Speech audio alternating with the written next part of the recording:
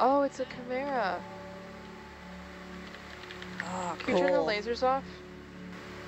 Oh, wow. These are some of my favorites. Do we know why they're called chimeras?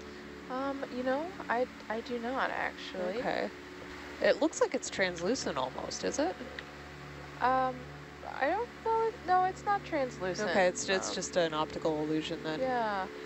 They're so striking. Yeah, so it might be a chimera. They're extremely interesting. They are absolutely stunning. They do have really large eyes.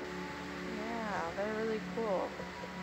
Some of some exceptional, one of the exceptional organisms here in the deep sea.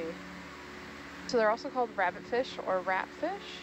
They are cartilaginous. Okay, so kind of like sharks. Mm-hmm.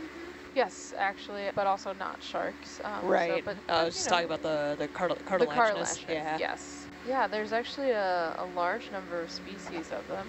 And there's a couple genera, including Hydrolagus, which um, uh, is potentially the the type of chimera that we saw here. That's So amazing. This would be another in the Halosauridae family, in front of the bamboo whip. Uh, I like how he's drifting sideways with us. Whoa, there's a, oh, hello. oh, that's uh, from the Oh, two things. Um, We saw these the other day, remember, Kara? I have it open. Wait. I think it's a It's on the tip of her tongue. It's, sorry? Gadiform fish. Yeah, it's one of, in the macrourids, but it's the other one, which probably an antimora, if not the same family as the antimoras. Yeah, a coryphaenoides, a macrourid, but the same family as the rat tails. I can It's see a that. nice, big uh, coryphaenoides. Yeah. It's a nice observation. It's a good, uh, so much. good camera shot too, For what? guys. I wonder Go the, front row. the current, is the current strong here? Because it seemed like it was moving. Seems like it's pushing them and yeah, us, yeah. right? Like the tail was moving, but Yeah. it was going backwards. What kind of fish is this? Um, I'm trying to find it right now. It was crispy to it, which I'm feeling is moving to the background. I think he's got some. it's Oh, got you can see, uh, nerves. Looks like it found a weed eater. texture. Uh, lasers are What a pose. Trying to get the whole organism. Bam. I'm jealous not touching the rock. Wish I could touch the rock. It seems What do you call that when there's like a midline, but then it meets in a higher midline?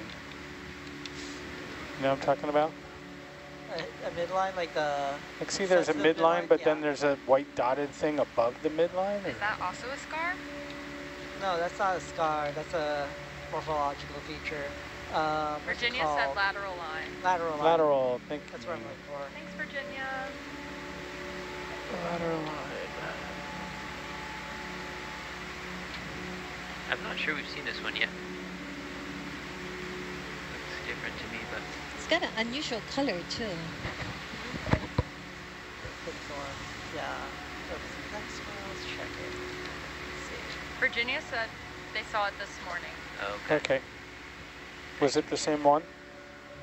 Yeah, it's an o- uh, ophiidi, ophidiform. She said uh, she sent a link Yeah, I, I think I have it right here actually. of video. Uh, Why? Diplocanthoma. I cannot pronounce shot. this. Scooting, Yeah, I think this is the one I clicked onto. Let's it loads. Yeah.